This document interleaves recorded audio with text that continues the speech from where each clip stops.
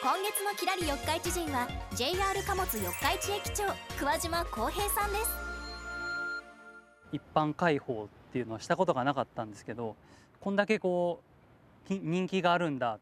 というのをやってみて初めて分かった。JR 四日市駅ホームの東側にある JR 貨物四日市駅。桑島さんは昨年行われた JR 東海爽やかウォーキングの立ち寄り箇所としてこれまで関係者以外立ち入り禁止だったコンテナ基地を初めて開放しました。京都から来ましたとかですねあの新幹線乗ってきたっていうご家族もいらっしゃいました。イベントで圧倒的な人気があったのは DD51 形式機関車。当日は鉄道ファンだけでなく子供から大人まで全国から約2000人が参加しました小さいお子さんが、ね、大きくなった時に例えば運転士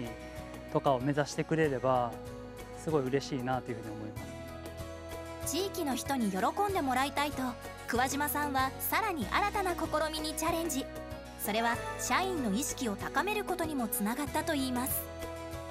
多くの人に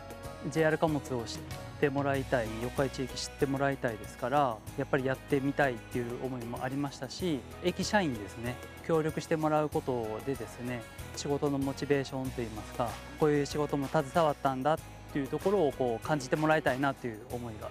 ありました。